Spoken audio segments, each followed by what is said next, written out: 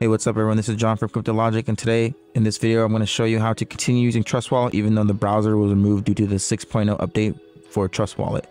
And this is only going to apply to iOS users. Um, Android, Android users, this does not apply to you. So you're going to go to the web browser and type in PancakeSwap. And then you make sure you go to pancakeswap.finance. It'll take you here. You're going to want to hit the menu button on the left, hit trade and hit exchange you want to go here first before you connect because if you connect on the home screen and you go back over here, it's going to make you reconnect again. So this just removes an, um, the annoyance of having to reconnect every time.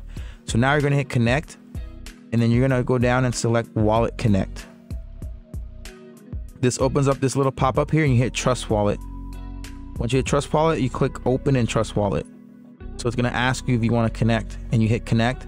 Then now you can go back to your web browser and then now you're you're going to be connected here and you're, you're going to be able to use PancakeSwap just as just as you used to use it when the browser was built in within the app.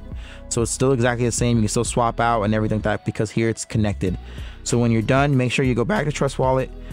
You see that it says online you want to hit cancel to disconnect.